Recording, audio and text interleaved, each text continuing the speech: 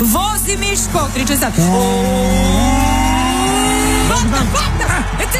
Idemo trojka! Evo bez tenzije. Evo, bez tenzije. Da sviram poluvreme. a? Svira. Da ti kažem nešto, moja taktika je samo da ne jurimo mi njih, nego oni nas. Pa nije Pa loš. nije loš. Pa ja i kažem nije loš. Idemo Joke!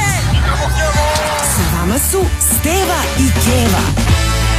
Tweet je glasio originalni Beograd, doček od 100 miliona dolara, ovaj dinar, Polako. 100 miliona dinara, Aca Lukas Riblja Čorba i ispod Nikola Kalinić. Sportisti ne dobijaju honorar za igranje za državu, a pevači da, za pevanje. Znak Ne. pitanja, znak pitanja, oni čudni smajli, čudni smajli. Ne, oni za razmišljanje. Pa taj, taj, taj, taj.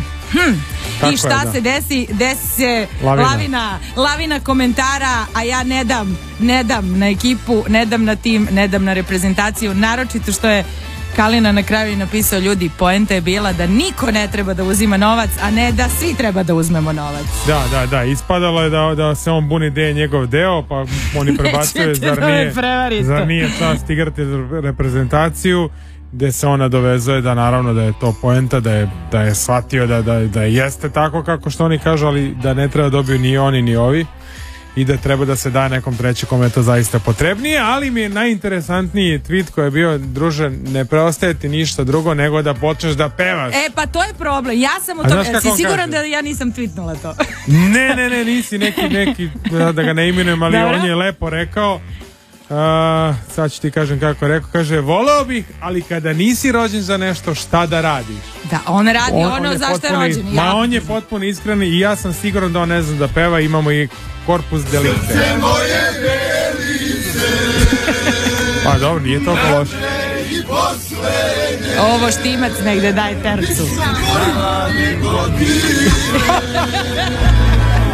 e, e, ja bih, E, on. ja bih platila i da ih slušam kako... E, to ide iz srca, čoveče. To ide iz Ja srca. bih Mada, plat- platio, ali da ne pevaju.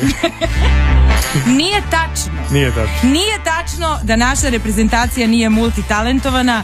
Postoje ljudi koji to jako dobro rade. I kad već slušamo bendove razne i pevače, mogu i sportisti da sviraju i da pevaju. Slušaj, slušaj. Onda se sraniš kada čuješ za mene Gde su upaljači, gde su mobilni telefoni? Ovo kad mu niko ne sme. Ali sam ja ni pola toliko loš Ko Kalina. I štimac. A, je li ovo Jović?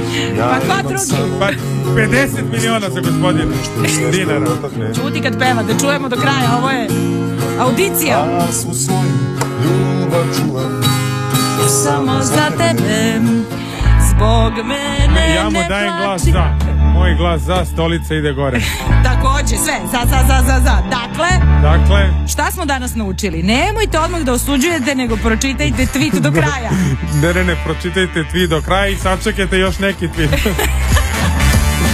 Ili zapevajte i vi, probajte da snimite ploču. Znamo da Bogdan recimo voli. Voli se pojavljuje u spotovima, voli da peva, voli da repuje, predvodi ekipu kad se slavi medalja.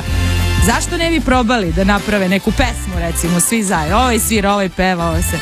Koliko ideja, nova godina, samo što nije. Ovo možda za, za, za pravoslavno da se organizuje. Može, da. Kalina, veliki pozdrav ako te diraju Zoe, Kevu i Stevu. Sve ćemo da sredimo. Sa Stevom i Kevom.